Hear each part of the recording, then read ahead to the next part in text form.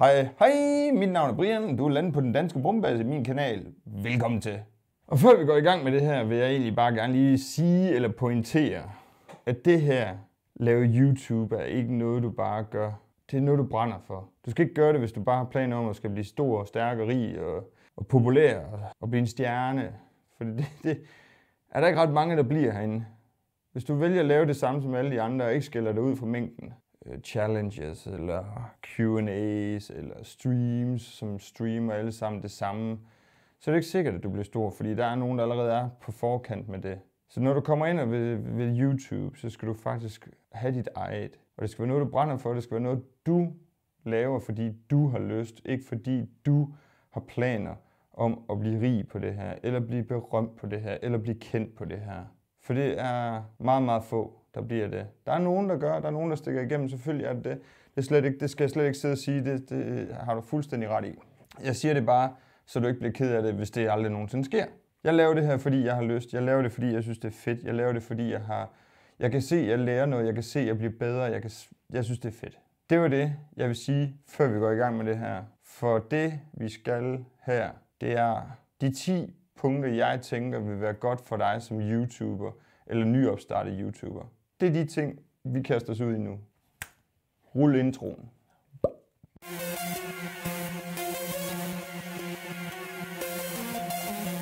I dag har jeg tænkt mig, at vi skal kigge på det, der hedder, hvad skal der til for at blive, man bliver YouTuber? Jeg har 10 pointer, som jeg tænker, det vil være godt at være noget af det, man, man har som, som nyopstartet YouTuber her på, på YouTube, hvor YouTuber de øh, samles. Gardash.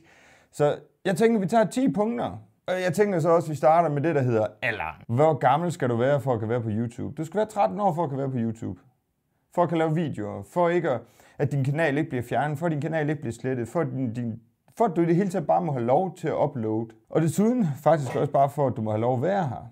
Men så har man så valgt at lave en app, der hedder Kids, som så sørger for, at det er børnevenligt, det du får ned. Det har også noget med reklamer og andre ting, altså, der siger at gøre. Det er noget noget, alt sammen. Nummer to. For at kan blive YouTuber, så skal du have en Gmail.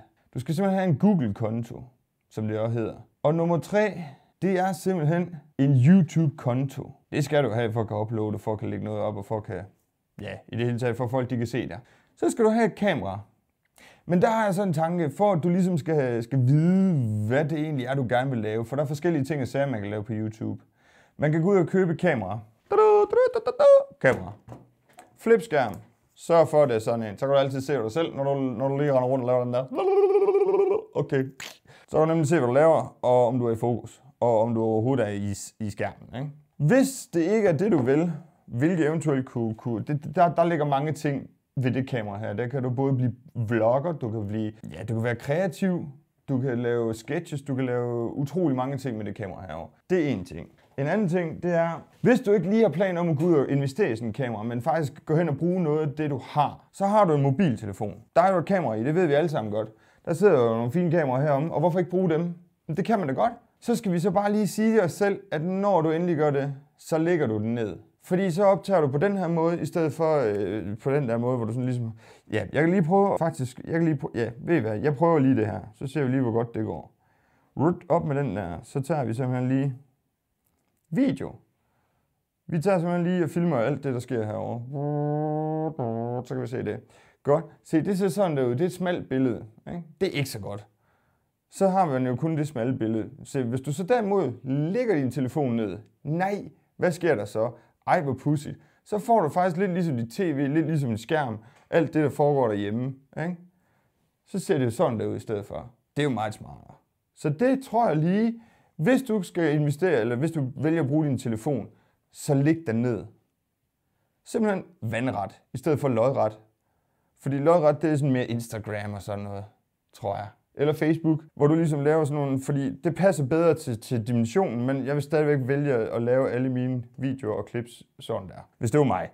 Hvis du ikke har planer om at blive en vlogger, eller en, der render rundt og er kreativ og laver sketches og laver videoer og laver alt muligt mærkeligt, men hellere vil være streamer, så skal du overveje et kamera, der passer til en streamer. Så skal du have et webcam. Du kan selvfølgelig også godt bruge et kamera, så skal du så bare have fat i et kabel, eller du skal have fat i nogle forskellige instrumenter, som, som ligesom gør, at du kan få det billede ind i din computer. Og for at du ligesom kan køre det her, så skal du have en, en computer. Jeg gjorde det, jeg gik ud og investerede i en, i en, i en, ja, en knap så stærk en, fordi det var billig, og det var faktisk før jeg overhovedet havde planer om, at jeg ville til at lave YouTube. Det var fordi, jeg havde fået et ur, som var sports, og så skulle det, og så der skulle simpelthen Windows styresystemet derpå skulle gerne være øh, Windows 10. Men det kunne min gamle computer, ikke? Så jeg var nødt til at købe en billig en. Og der investerede jeg simpelthen i den her. Den koster mig 2500. Den kunne jeg starte op på. Jeg vil, jeg vil ikke kaste mig ud i at lave YouTube på den her i dag. Fordi der har jeg fået en lidt stærkere computer efterfølgende. Den kostede så også en 7-8.000, tror jeg det var, det var, at jeg gav for den her. Og den her, den kan sagtens trække det program, jeg kører med, som er DaVinci Resolve. Jeg har kørt med Hitfilm Express på den der, og jeg har kørt Hitfilm Express på den her, og det kan den sagtens, det er der slet ingen problemer i. Så hvis det er, så skal du så også have fat i en computer. Så kan du nemlig både spille og streame og gøre nu det, du skal, og, og det, det gør du ved hjælp af et webcam, hvis det er, at der ikke er et webcam i din bærbare, men, men kvaliteten bliver bare lige det lidt bedre. Når du nu har fået en PC, så skal du have et program, og der er to programmer, jeg vil anbefale, som også er gratis programmer til det formål her. Hitfilm Express, og det hedder det ikke længere, det hedder højst sandsynligt bare Hitfilm. Og så er der en Hitfilm Pro udgave, det er så en, du betaler for. Hitfilm er en gratis udgave. Så er der den, der hedder, den som jeg hører på nu, som hedder DaVinci Resolve. De har en, en Pro-udgave og en DaVinci Resolve. Jeg har valgt DaVinci Resolve, for den kan dele dyt med mig. Så det vil sige så, det var et program. Alderen, det var 1. Gmail, det var 2. YouTube-konto, det var 3. Kamera, det var 4. Og en PC, det var 5. 6, det var programmet, og det koster gratis. Så når du har styr på nogle af de her ting her, du har været ude at investere i, så er det jo rart nok, at der er lidt, der er gratis også derimellem. Ikke? Så skal du så ud og have fat i noget, der hedder lyd. Og der har vi jo så nogle forskellige ting at sige. Til det har jeg jo anskaffet mig en gun mic til sådan en type der, ikke? Og til en mobiltelefon, der kan du få sådan en, en Livinere, en Livinere mic, eller vi kan også bare kalde den en knaphulsmikrofon. Der har jeg sådan en, en dobbelt en her til, når jeg interviewer nogen i bilen, eller ude at køre, eller i det hele taget bare bruge min mobiltelefon. Fordi så kan jeg nemlig bruge den her til det. Det, det er bare smart. Så kan man lige bruge sin mobiltelefon til det. Man kan også bruge øh, den, jeg har her på. Det er jo endeligt. H1N. Jeg kan ikke huske, hvad den Men det er en Zoom. Jeg er glad for den, og den giver god lyd fra sig. Så det her er jo så næste situation. Så skal du have noget lyd. Ikke? Der er mikrofoner til det formål, som så er, er dem her, der, der, der er på farten. Ikke? Og hvis du så skal være streamer, jamen så skal du have en anden form for lyd. Så skal du over i noget, som hedder mikrofon. Det er en stationær mikrofon. Der kan du faktisk også lige op, ikke? Vi render lige ind i stuen. Og der er jo forskellige måder at gøre det på. Du kan også få sådan en, der sidder fast på et headset. Øh, og de kan også give øh, fantastisk lyd. Spørgsmålet er bare pris, hvad du investerer i det. Den er, kan jeg kun sige, det er en rigtig god. Den, den, den, den, den er god. Du kan godt få den her type her, som hænger i sådan en, en mikrofonarm. Og så har du den til at sidde fast på bordet, og så, så rækker du den ind til dig, og så sidder du der og snakker, mens du sidder og spiller, eller hvad du nu laver. Ikke? Så styrer du bare det med hård hånd. Der er headsettet, og der er en bordmikrofon. Så skal du bare lige have den lidt, så skal du have den til at stå foran dig, mens du sidder og spiller. Kan godt være lidt akavet en gang imellem, men det er måske bedre, hvis du sidder og snakker, eller har et talkshow eller et eller andet. Men, men så var det lyd, ikke? Så har vi styr på lyden. Så skal vi have fat noget lys. Hvis du ikke på nuværende tidspunkt bruger dagslys og vinduer lys, lyset fra vinduet, vinduesindfald lys og sådan noget, så, så, og jeg peger derover, det er fordi om bag det her gardin her, der er faktisk øh, et vindue. Øh, ja, der er et vindue om bagved. Jeg vil bare gerne kunne styre mit lys. Så det vil sige, at jeg bruger kunstig lys. Der i blandt, der kan man simpelthen få sådan en her. Man kan også få dem, jeg har til at stå heroppe. Det her det er jo meget smart. Så kan man lige øh, lyse sig selv, eller øh, lyse sig selv op på den måde, man nu har lyst til. Man kan placere den, hvor man har lyst til, og man kan... Så, så, så du skal have noget lys, det skal du. Den kan også skrues ned for, det er simpelthen... Den her, den, den kan bare lidt det hele, den er bare fed. Den er jeg faktisk rigtig glad for. Så du har, du har simpelthen også... Nu har du valgt at få noget lys også, så det er godt. Du har lys, du har lyd, du har PC, du har mikrofon, du har hele PC. Det er ikke nødvendigt at anskaffe et stativ endnu, for du kan bruge bøger, du kan bruge bord, du kan bruge ting og sager til at stavle det op på. Du, du kan tage en stige, du kan, du, du kan gøre mange ting, hvor du, hvor du faktisk bruger de ting, du har derhjemme. Men skulle du så gå ud og anskaffe dig en tripod, den kan du bruge til mange ting. Den, den, den er ret fleksibel, og den, den, der, der er flere hemmeligheder i sådan en der, hvis du først lærer at bruge den rigtigt så kan den faktisk også bruges som stabilisering og nogle andre ting og sager. Så det, det er faktisk også en god en. Men når du så har, har optaget sådan noget her, og du har kørt det igennem programmet, og du har trykket det ud på den anden side, du er tilfreds med din video, og du er klar til at uploade, så vil jeg sige, stik en finger i jorden. Mærk Det kan godt være, at du er ivrig nu og her for virkelig at lave en masse videoer, du har en masse gode idéer. Men du skal huske, at det her det bliver altså ved. Det er ikke bare en, det er ikke en sprint, det er ikke en spurt, det er ikke noget, der bare skal overstås. Det her det er en maraton. Det skal bare ved. Det tager, det tager lang tid om at bygge en kanal op. Det, det tager utrolig lang tid. Så det, jeg så vil råde dig til her, det er, vær bevidst om, om, hvornår du uploader. Upload på et bestemt tidspunkt, og så upload konstant. Når, når du så har lavet den her video her, du er klar til at uploade den, så, så upload videoen. Men gør det på en dato og en, en, en, en tid, hvor du tænker, der har jeg nok tid til at kan, kan nå at lave en, video, en ny video til. For eksempel lav en om måneden, men så gør den en gang om måneden, og så upload på den samme faste dato, og så vil holde ved og blive ved og blive ved. Det er simpelthen mit råd til dig. For når du så har gjort det, og du synes, nu begynder det at være sjovt, og nu begynder du faktisk at have overskud i dit budget, for nu har du samlet de ting, du gerne vil have fat i, de små ting der, ikke? Så går du ud, og så anskaffer du dig, en, så, så anskaffer du dig lige en drone, ikke? Så, så, så, så, så du skal da bruge en drone, det skal du da, det skal du da lige pludselig have, fordi du skal da have nogle af de der fantastiske øh, luftbilleder der, så, så, så, så, du skal da have en drone, det skal du da, du skal da, der skal da have en drone, ikke? Så skal du da lige flyve rundt med den, ikke? Mega godt der, ikke? Når du så har det, så skal du da også øh, begynde at lave sådan nogle slide-billeder, fordi det har du også set, det der er mange, der gør, så, så, så sætter de kameraet der, ikke? Og så slider de den fra den ene ende til den anden ende, ikke? Så får du bare sådan en dejlig fast bevægelse i dit billede, og det er sådan bare mega lækkert og sådan noget der. Og, og, jamen, altså, ud og investere en masse udstyr, for det her det er en dejlig dyr hobby, ikke også?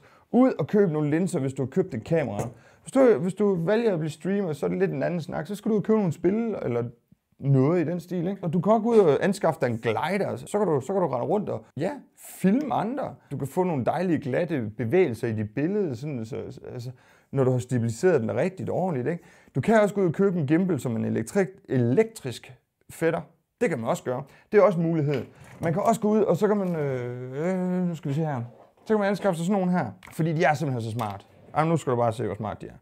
De er så smart. Jeg synes simpelthen, jeg synes, det er et genialt system. Det er Manfrotto, der har lavet dem, men jeg kan lige så godt sige det, som det er. Jeg er ikke bleg for at sige det. det er, og det er ikke reklame eller noget som helst, men, men det er godt nok. Så tager man lige og sætter den fast der, ikke? Så tager man, så siger man, hvor vil jeg gerne have mit kamera til at sidde hen? Jo, jeg vil have til at sidde i den vinkel der, og så skal det lige pege. Og så låser du den bare. Det er en flexarm. Er det ikke smart? Nej, jeg bliver ikke enig med mig selv i den vinkel der, så gør vi lige sådan. Sådan der. Swoop, boop. Hvad?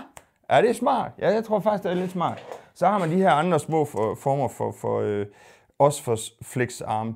De, de, øh, de er så ikke så fascinerende og imponerende, må jeg nok sige. Men de kan stadigvæk. Men, men de her små flexarme her, de er altså ikke super gode. Men de gør der arbejdet, så længe der ikke kommer for meget vægt på. Ja, det var 10 hurtige råd fra mig af. Så velkommen ombord. Velkommen til YouTube. Hvis du har alderen 13, så synes jeg, du skal kaste over det, hvis du synes, det er noget, der brænder for at komme i gang. Det er sådan set det, jeg vil sige. Skal jeg se, om jeg kan finde min kapsel? Eller den ligger derovre. Og så ønsker jeg dig held og lykke, knæk og bræk, og pøj pøj med det. Og så er der noget, der hedder Supernova, hvor du kan komme til at blive nomineret, hvis du er så heldig. At der er nogen, der opdager dig, og der er nogen, der ser dig, og du får en god seerkreds. Og du skal bare ikke komme over 20.000, det er ikke så godt. Fordi så må du ikke deltage. 20.000 øh, følgere, så, så det, det er grænsen for at deltage i det. Men hvis du er god, så kan du også få en pris. Ja, det er et show, der holdes en gang om året. Jeg tænkte, det vil jeg bare lige fortælle dig. En, en anden ting, jeg faktisk også vil, vil fortælle dig, det er, skulle du nu være øh, så heldig, du kommer godt, godt i gang, og du synes, det kunne være spændende at, at lave, lave noget collab, som man kalder det, eller noget samarbejde med andre kanaler, så vil jeg råde dig til at finde kanaler på din egen størrelse. Kanaler, der har den samme form for kreativitet, som du har som er på samme plan, samme, samme niveau som dig, sådan så du ikke skyder over mål, og så satser på, at du får fat i en af dem med 100.000, eller 20.000, eller 15.000, hvis du kun selv har 6, 7, 10, 12, 32 følgere. Det er mit råd til dig. Det er at gå ud og finde nogle samarbejds-YouTuber, og så få en god samarbejde få noget kemi, og så sammen lave noget kreativt. Det var, en af de, det var en af de ting, jeg gjorde, dengang jeg startede her på YouTube. Det tog mig ikke lang tid om at, at finde ud af, at det, det ville faktisk være rigtig, rigtig fedt at lave noget sammen med andre YouTubere. Men man skal så bare sådan sigte efter sin egen... Man skal sigte efter sin egen størrelse på kanalen. Det er mine råd til dig i dag. Det tror jeg simpelthen, det vil jeg lukke og slukke på lige der. Ja, yeah. og ellers så er det bare at komme i gang. Tak fordi du kiggede forbi den danske brumbasse, min kanal. Hold den flyvende.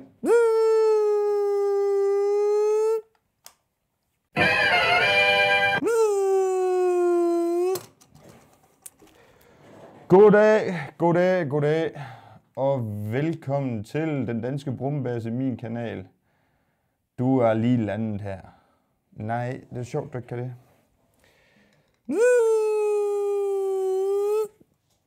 Hej, hej, velkommen til. Mit navn... Nej,